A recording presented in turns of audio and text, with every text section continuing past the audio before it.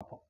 First காட்டு பண்ணி எதனால் உங்கள் ப்ராப்பர்ட்டிக்குள்ளே வர ஆரம்பிக்குது அப்படின்றத பாருங்கள் ஒன்று அது வழி தெரியாமல் வர்றது ஒரு கேஸ் ரெண்டாவது அதுக்கு பிடிச்ச உணவுகள் அதாவது பார்த்தீங்கன்னா பழங்கள் வாழை செடி பயிர்கள் இந்த மாதிரி நீங்கள் போட்டிருந்தீங்க அப்படின்னா கண்டிப்பாக அது உள்ளே வர ஆரம்பிக்கும்.